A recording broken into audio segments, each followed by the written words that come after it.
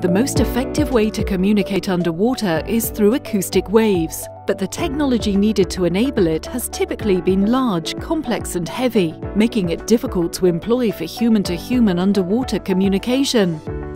Until now.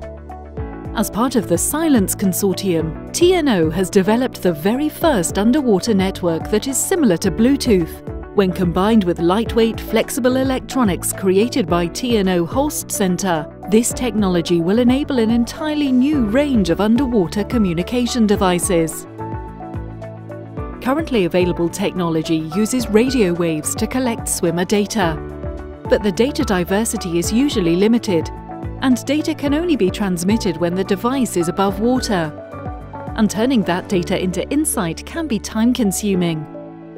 Using the new technology, lightweight devices can communicate data in real time while the swimmer is underwater. From breathing and heart rate to stroke and kick rate, high-frequency underwater acoustics create a complete picture of a swimmer's movements and help improve the swimmer's performance.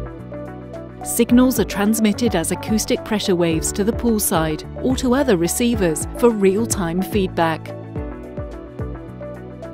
Now that the concept has been proven to work, TNO is seeking partners to further develop the technology for targeted applications. It has never been possible to easily collect and communicate data from a moving person underwater.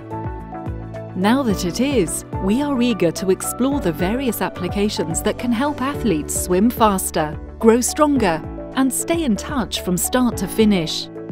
Join us in discovering the underwater wearables of tomorrow.